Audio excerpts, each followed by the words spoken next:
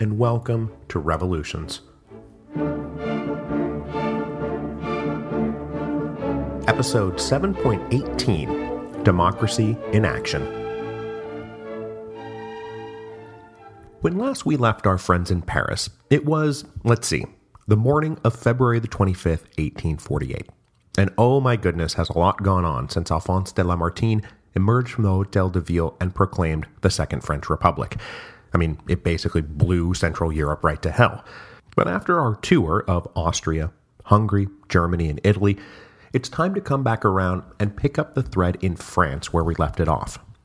Now, to refresh our memories, let's recall just a few of the things that happened at the end of episode 7.12 events that are going to set up the conflicts of our next two episodes, because we are going to stay in France for the next two episodes. In the wake of King Louis Philippe's abdication, a Republican provisional government just sort of voted itself into existence. Its leading light was the poet turned politician Alphonse de Lamartine, and its most radical member was the journalist Alexandre Ledru Rollin. At least he was the most radical member for a few hours, because remember, an even more radical group of opposition leaders nominated the socialist Louis Blanc and the influential working class leader, known only to us as Albert, to go join the self proclaimed provisional government. After an awkward few minutes on the night of February the 24th, the provisional government let in Blanc and Albert, and then, after an all night meeting, they emerged the next morning and proclaimed a republic.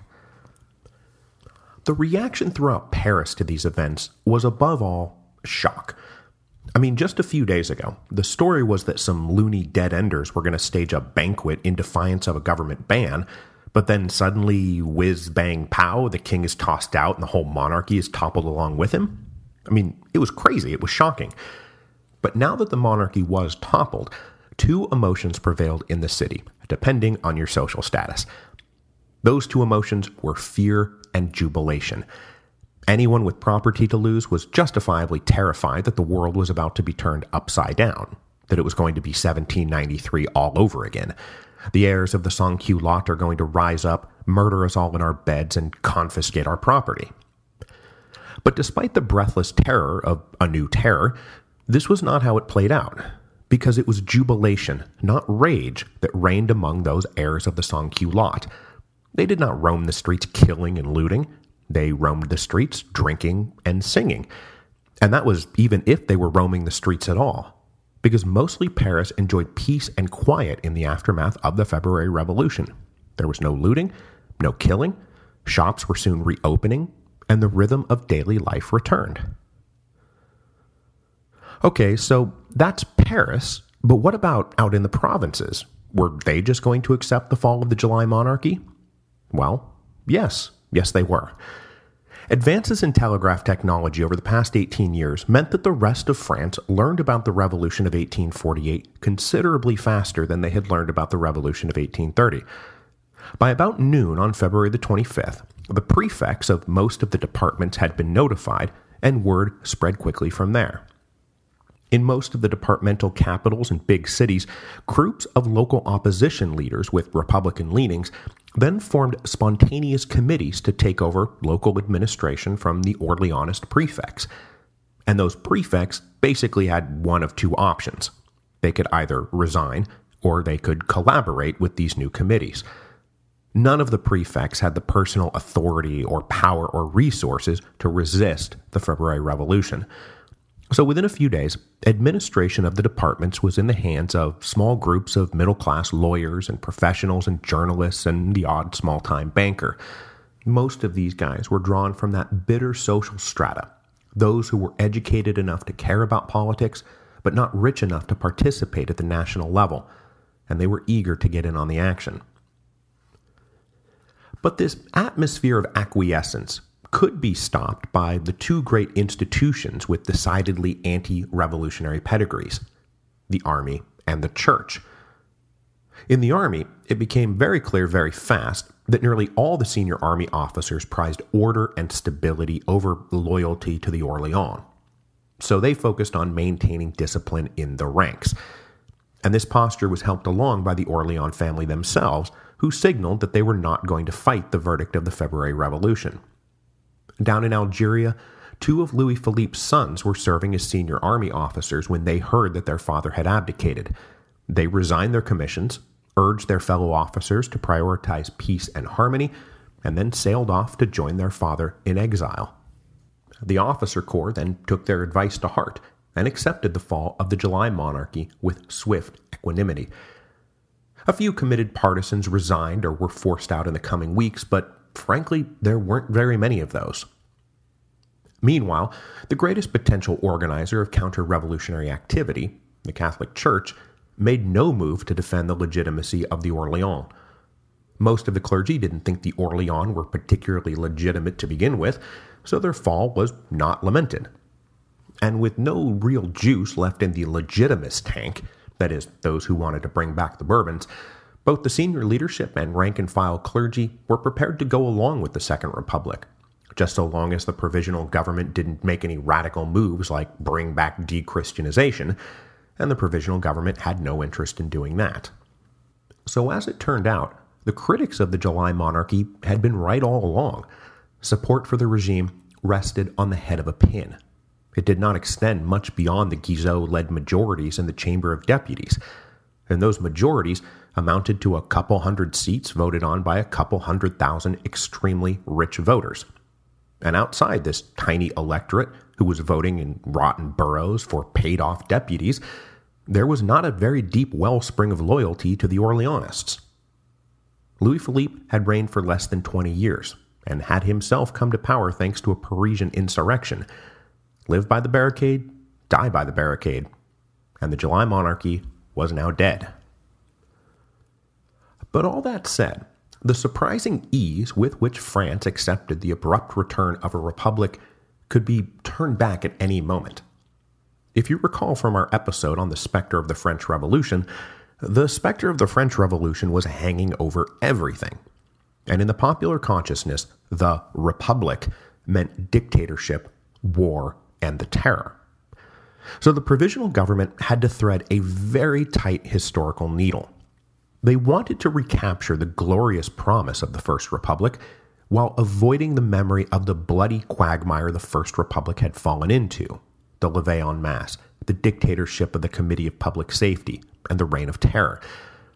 So, to head off those fears, the provisional government made it very clear that they were merely a caretaker government. We are not, repeat, not, a dictatorial Committee of Public Safety. We are going to get going with some kind of national election as soon as possible, and in the meantime, we're not going to rule with an iron fist. This revolution was about freedom of speech and the press and the freedom of assembly, and by God, that is what we are here to guarantee. And just as soon as a new National Assembly is elected, we will gladly step aside. Then, on February the 26th, they took the momentous step of officially announcing the abolition of the monarchy, but at the same time announced that they were also abolishing the death penalty. So the Republic is back, but Madame la Guillotine will remain safely locked away. Okay, so so far so good. No dictatorship, no guillotine. But the provisional government also had to deal with the fact that for the rest of Europe, the specter of the French Revolution was less about dictatorship and guillotines and more about aggressive French armies on the march. So, to calm the fears of their European neighbors, the provisional government also needed to renounce such aggressive war. So, on March the 5th, Lamartine published the Manifesto to Europe. And the manifesto was provocatively addressed to both the heads of Europe and the people of Europe but the thrust of the message was don't worry, our intentions are entirely peaceful. We will, of course, be rearranging things domestically. We have, after all, had a revolution, but we have no interest in starting wars or invading other countries. Now, there is some language in the manifesto about France supporting the legitimate national aspirations of people everywhere, which was heartening to, say, the Italians, but subsequent back channel communications to the heads of Europe made it clear that France was not interested in armed intervention in conflicts outside her own borders. So, though Europe was very nervous about the return of a French republic, just as they had done with Louis Philippe in 1830, they accepted the changeover. The United States was the first to recognize the Second French Republic, and then Britain confirmed that recognition, in part because British Prime Minister Lord Palmerston hated Louis Philippe and was glad to see him go. And as for Prussia and Austria, well, in a few days, they're going to have problems of their own. So, as they kept going with this project of a republic with all the things you liked but none of the stuff you didn't, the provisional government actually started taking over the reins of administration and creating a republican government for France. The Chamber of Peers was abolished, with all noble titles being stripped of their legal meaning.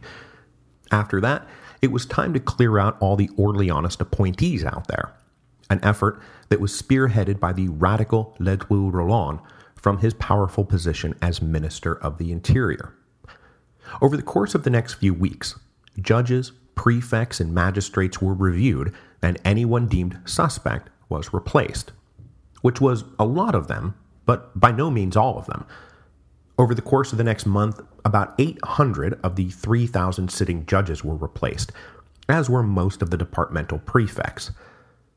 But at least in this initial round of purge and replace, worthy replacements were appointed based on skill and experience more than their political leanings. So rather than taking this early opportunity to pack the administrative apparatus with ideological allies, Ledru Rollin wound up packing that apparatus with men whose loyalty to republicanism was pretty suspect. He would soon be correcting this oversight, though. Now, to guarantee the internal security of France, and more importantly, the security of the Republican provisional government, the government also decided to radically democratize and expand the National Guard. They announced that henceforth there would be no minimum tax requirement to join the Guard, that in fact, every adult male in France should consider themselves eligible for service. They also announced that service in the National Guard would no longer be a part time volunteer gig, but that it would be a full time paid job. Enlistment would run for one year and one day, with wages, arms, and uniforms provided by the state. Tens of thousands flocked to join up, lower class volunteers obviously because this sounded like a pretty good gig, while their upper class neighbors because they wanted to prove their patriotism. This newly reorganized version of the National Guard would then find its loyalties very closely aligned with those of the provisional government, as we are about to see. As they worked to guarantee their physical security, the provisional government also needed to guarantee their financial security. The books did not look good, thanks to the last few years of bad harvests, recession, and expenditures on relief efforts.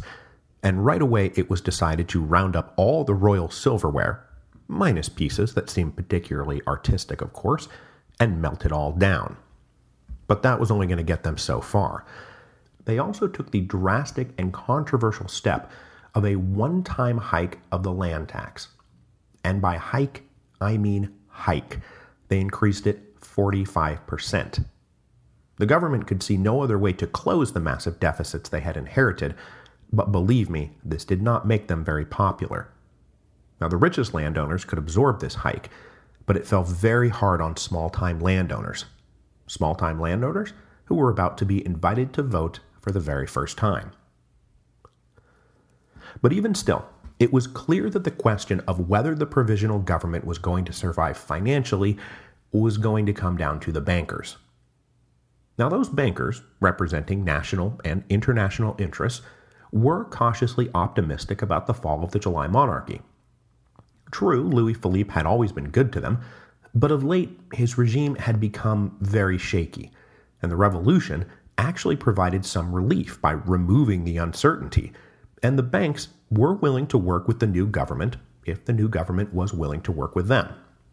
And a major symbolic showdown at the end of February sealed the deal.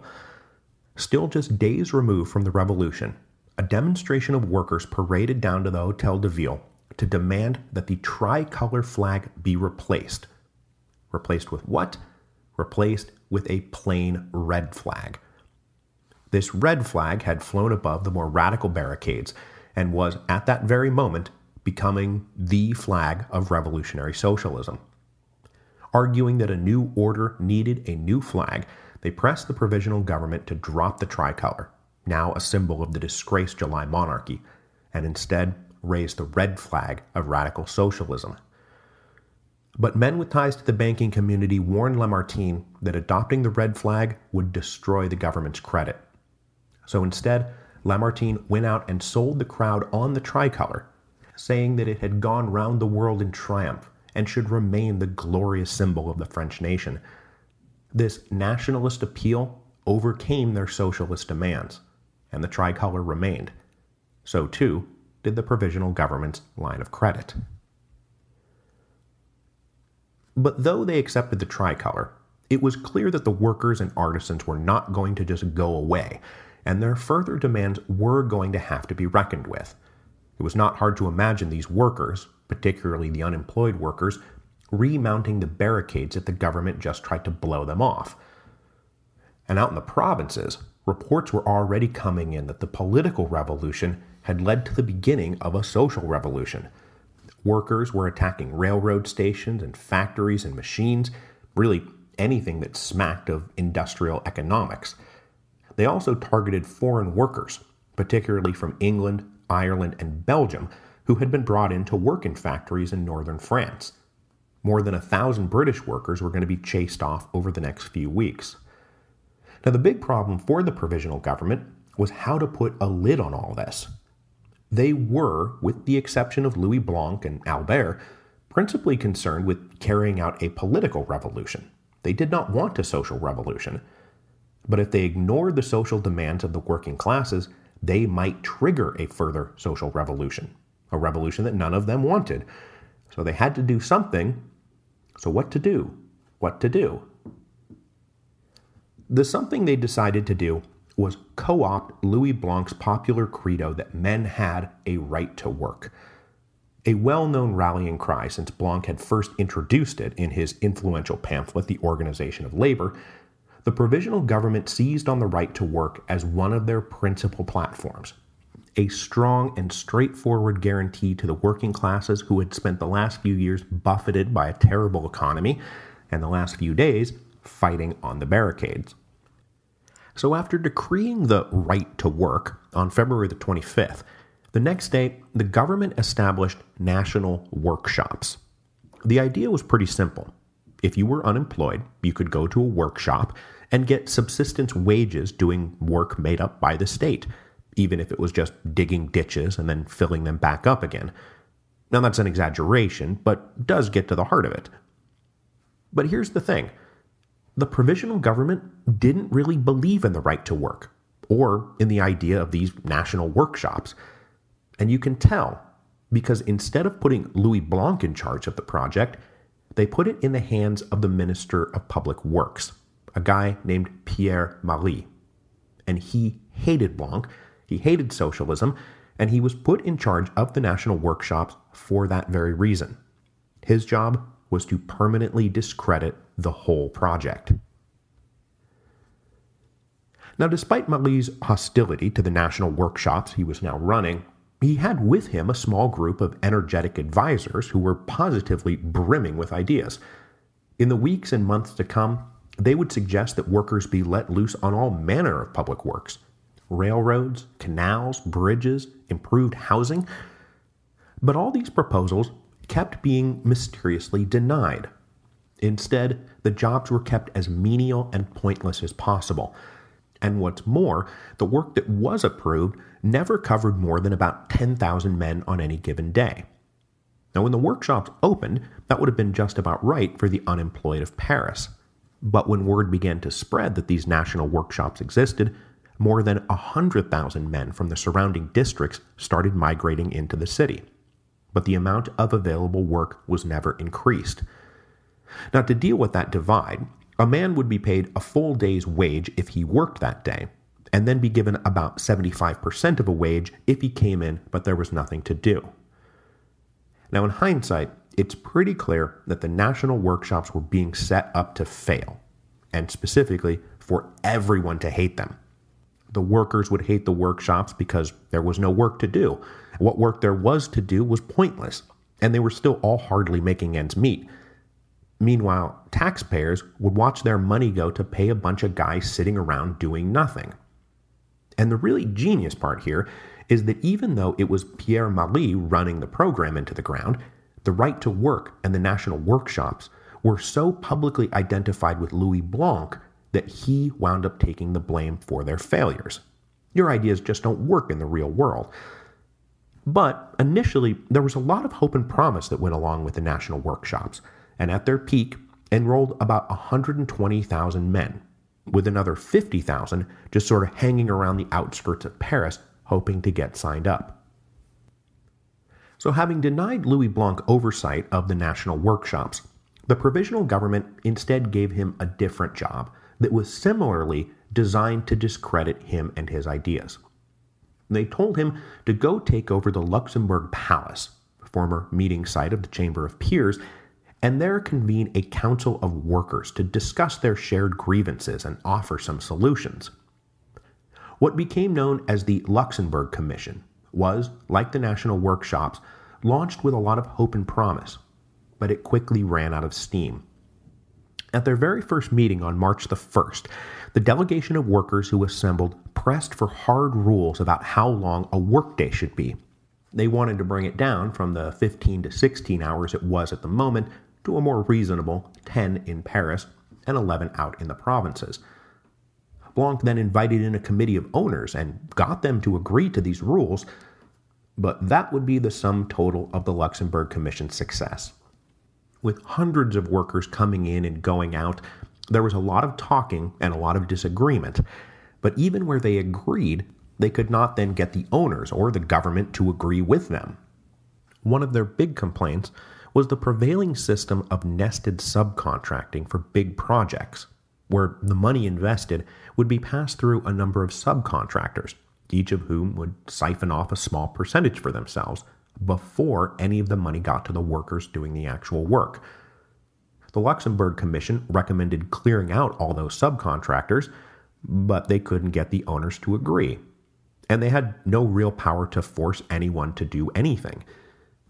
Meanwhile, Blanc himself tried to implement some of his more radical socialist ideas.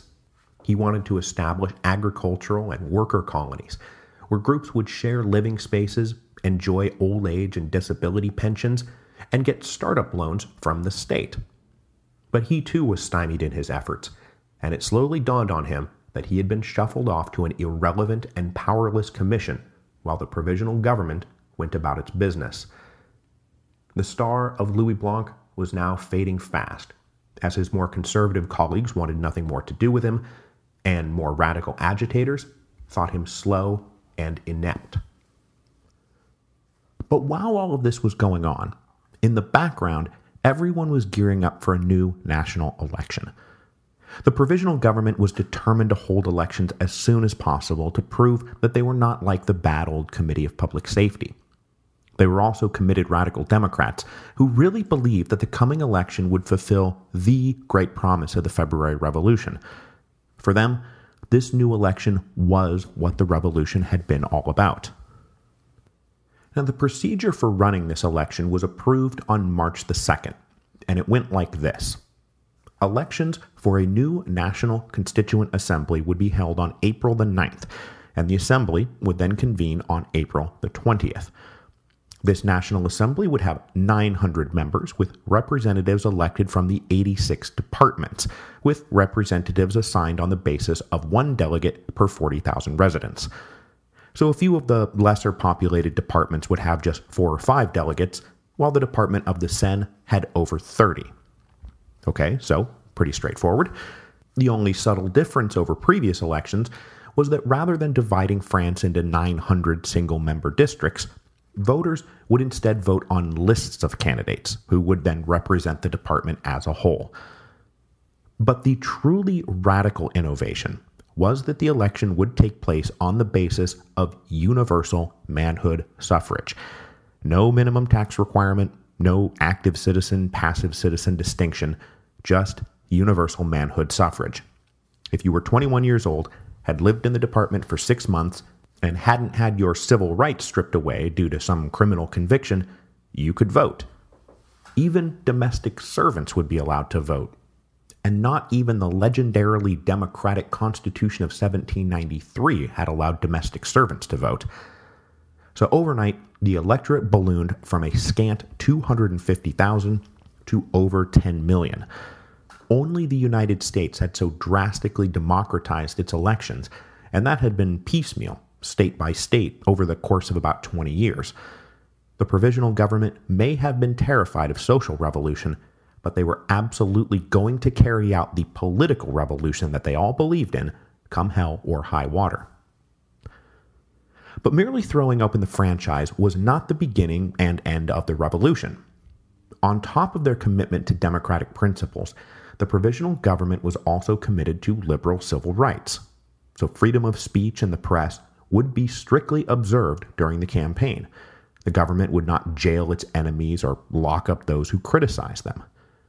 So, over the course of 1848, something like 500 new newspapers opened up to support the now limitless spectrum of political and social thought that could be entered into the public sphere.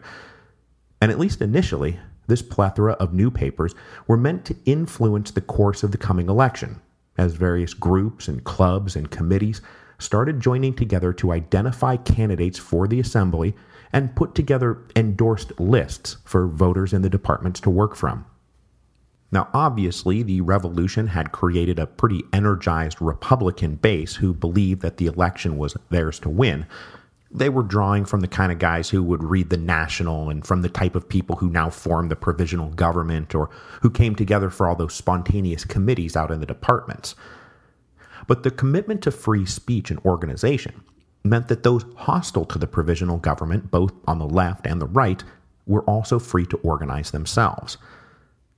Now, on the left, obviously, this meant more committed radicals and socialists who were not satisfied with these moderate Republicans who cared only about the political question. So they broke off and formed their own committees to find and endorse their own candidates. The workers in the Luxembourg Commission did the same thing. And pretty soon, there was actually a huge variety of competing left wing candidate lists floating around out there, which would become a problem for all of them come election day. Meanwhile, it did not take conservatives long to test the government's commitment to free speech by getting themselves organized. This group included everyone from Guizot style constitutional monarchists to like unreconstructed Bourbon legitimists. Backed by wealthy landowners and bankers and merchants, they found the government's commitment to free speech surprisingly genuine, and they ramped up their efforts to go win a majority in the National Assembly. They went and found candidates, they started newspapers, they contributed funds to print pamphlets and delegate lists. They aimed to win a majority in the National Assembly, even though they didn't really believe in the National Assembly, or, frankly, the revolution. But though the provisional government believed that holding an election as quickly as possible was absolutely necessary, not everyone agreed. As they scrambled to put together a campaign apparatus, the radicals and socialists quickly came to the conclusion that this was all happening too fast. They presented petition after petition to the government demanding the election be postponed. The thrust of their argument was that the people of France had not been sufficiently educated in Republican principles to trust them with the vote yet. If you just throw an election without preparing anybody, they'll just do whatever the richest landowner in the district does, or whatever the clergy tells them to do. And that turned out to be kind of true. But the demands to postpone were also rooted in the left wing's belief that they themselves needed more time to properly organize, and that holding the elections on April the 9th would just mean that the same old faces would be returned to government.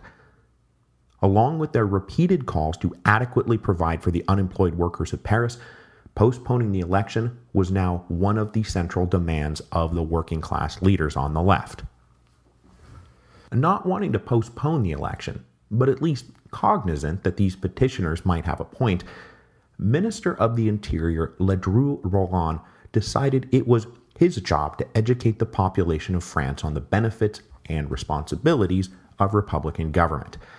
This is also when he started taking a closer look at the ideological disposition of the appointees he was sending out to the departments. Bypassing the old prefect apparatus, Ledru Rollin created a new breed of administrative agents called commissars. Operating a lot like the old representatives on mission during the original French Revolution, the commissars were to act as the provisional government's agents in the departments, and they were given a huge amount of authority to just act as they saw fit. And on March the 12th, Ledru Rollin issued an order that these commissars had absolute final authority over the local elections. Clearly representing a brand of Republican ideology favored by the provisional government, this order was instantly seized on by opponents on both the left and the right as proof that the government planned to tamper with the election, just like Guizot used to do. These charges seemed to be confirmed when Ledru Rollin tapped public money to pay for artists and writers to go out and promote the glory of the new republic. Now, though they were facing attacks from both the left and the right through March and April of 1848, the central focus of the provisional government remained their left flank to stop those who still wanted to use the political revolution as a springboard for a larger social revolution.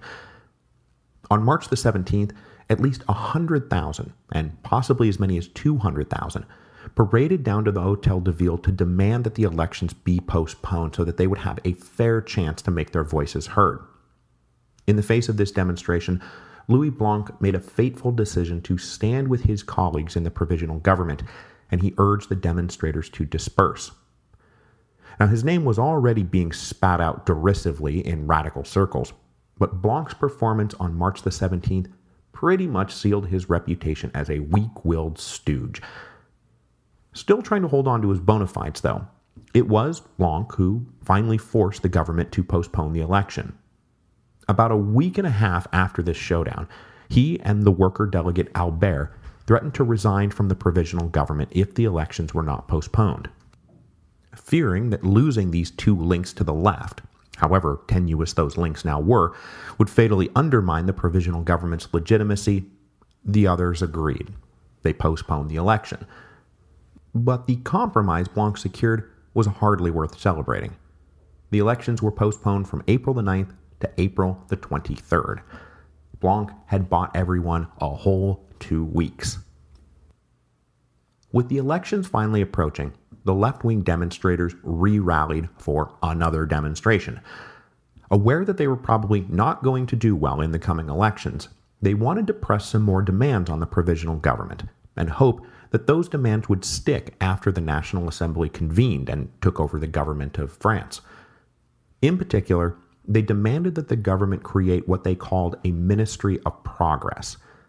This ministry, fully vested with the power of the state, unlike the advisory Luxembourg Commission, would be tasked with implementing socialist policies that would benefit the peasants and the urban working classes. And through their various organizing networks, the word went around that this demonstration would be held on April the 16th. When spies told Lamartine what was being planned, he assumed that this was the socialist revolution he had long feared. Knowing what was coming but unable to stop it, Lamartine wrote out a will and burned most of his working papers on the night of April the 15th. Now, the real worry for Lamartine and the other moderates in the provisional government was that as Minister of the Interior, it would be Ledru Rollin who had the power to call out the National Guard. If the workers really came for blood, would Ledru Rollin deploy the National Guard to stop them or to help them? They all got their answer the next morning when a huge crowd gathered and started marching on the Hotel de Ville, ostensibly to push for a ministry of progress, but who knows how far these people wanted to go, Ledru called out the National Guard and planted them between the government and the crowd. A committed political radical, but soft on the social question, Ledru decided he would go no further with the leftists. And like Louis Blanc before him, whatever goodwill he had out there in the leftist communities was now gone. They now derided him as a turncoat and a stooge. But the National Guard also refused to join the workers. So they dispersed peacefully. With the election now right around the corner, everyone finalized their candidate lists and tried to get them into the hands of supporters and voters out in the departments, either passing out pamphlets or publishing names in ideologically supportive newspapers. As these lists were finalized, the shape of the election revealed itself. this was not going to be an alignment of left wing forces, the socialists and radicals and Republicans and Democrats joining together to defeat the last vestiges of conservatism. It would instead be a broad alignment of respectable opinion aligning against the forces of left wing social revolution. Even moderate Republican interests, as represented by the members of the provisional government, who were all themselves candidates for the assembly, preferred to do business with conservative monarchists rather than left wing socialists. So there was a very strange de facto alliance between legitimists and Orleanists and moderate Republicans and old dynastic left types who all seemed to agree on the basic principles of order and property and family and religion. And they all warned repeatedly of the dangers of turning the world upside down. Election day was April the 23rd, 1848, which just so happened to be Easter Sunday. And the whole election turned out to be a categorical trouncing of the left. As the radicals and socialists feared, out in many parishes, priests would hold Easter Mass, then distribute lists of approved conservative candidates, and then personally lead a procession down to the ballot boxes. The ballots were then counted over the next few days, and in the very first democratic election in the history of France, nearly 50% of the voters showed up, which is pretty good compared to the like 1% that we used to get back during the French Revolution. Now, given how hastily this all unfolded and how improvised the elections were, it's hard to give numbers like this party won this many seats and that party won that many seats. But of the 900 seats, about 65% were won by some version of moderate Republican. Another 25% of the seats were won by avowed conservatives, plenty of whom were openly monarchist. The left wing radicals and socialists won just 10%. But though they had been trounced, the left did not take the results of this election as proof that they should tuck tail and slink away. They took it as final proof that the Revolution of 1848 was a deed only half done that real change would not come until a second social revolution had been properly staged. And so they got to work planning a second social revolution.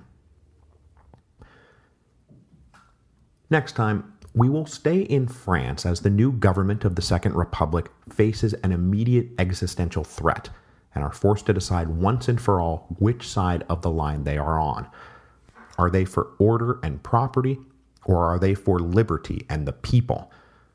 And in June of 1848, that is a question that would once again have to be answered on the barricades. But that story is going to have to wait two weeks because I am, as you listen to this, in Los Angeles getting ready for the West Coast leg of the trip. And if this episode sounded a little different than usual, it's because I'm recording it in a hotel room in Los Angeles. On December the 4th, I will be at the Grove Barnes & Noble here in Los Angeles then December the 5th, I will be at Book Passage in San Francisco. December the 6th at Powell's in Portland. And then finally, December the 7th, the Elliott Bay Book Company in Seattle. I cannot wait to see everyone. These have been tons of fun, and I look forward to having more fun with all of you. And as I hinted before, these events are going so well that the publisher and I are looking at more dates, probably in February and March, dates that will take me, gasp, south of the Mason Dixon line. I am also happy to announce that the publisher and I have been able to cook up a little Saturnalia promotion. As you know, The Storm Before the Storm pretty much makes the perfect gift for everyone in your family.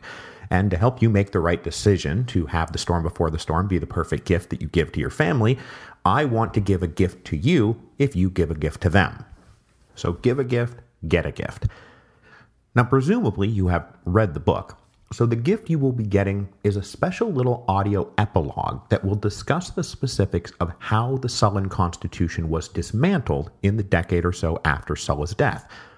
Like, he stripped the tribunes of all their power, but we know by the age of Julius Caesar that the tribunes had all their powers back. So, how did they get it back? Well, I'll tell you all about it, and minor spoiler alert Crassus and Pompey are right in the middle of it. So if you buy two or more hardcover copies of The Storm Before the Storm from any retailer by December the 25th, which is a date we just picked at random, you can go to hachetteBookGroup.com slash The Storm Before the Storm, upload your receipts, and receive this exclusive audio epilogue. If you've already bought more than two copies, congratulations, you qualify too. Just visit hachetteBookGroup.com slash The Storm Before the Storm for more information and terms and conditions. Until then, I will be back in two weeks, and I hope to see you all out on the tour.